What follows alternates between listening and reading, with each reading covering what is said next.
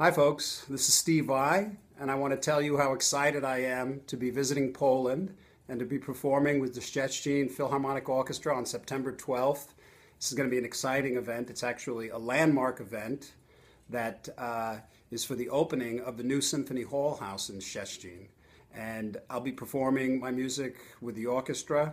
It'll be very powerful, very exciting, very colorful. And congratulations to Poland for having such a lovely event and for having such a cool new Symphony Hall house. And thank you so much for inviting me.